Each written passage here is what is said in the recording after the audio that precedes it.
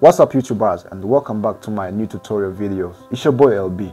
Today in this video I just want to show you how to make reverse effect in Premiere Pro just like this.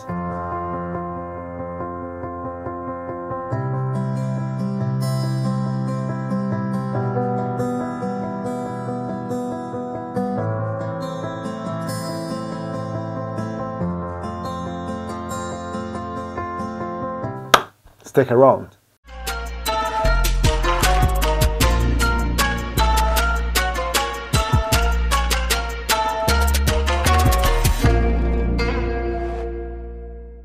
Yes guys. Here i'm in the premiere pro guys. Okay so now this is my footage video clip how it is and i just want to trim it here.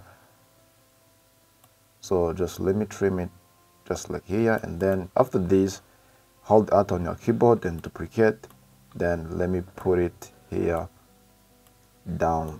Okay? So now and then click here on this second clip. Right click here on it and then just jump here on the speed duration then click here on reverse speed then click ok. So now guys let me just pray and let me see how my result is. So when i pray just like this and this is how my videos clip it is guys.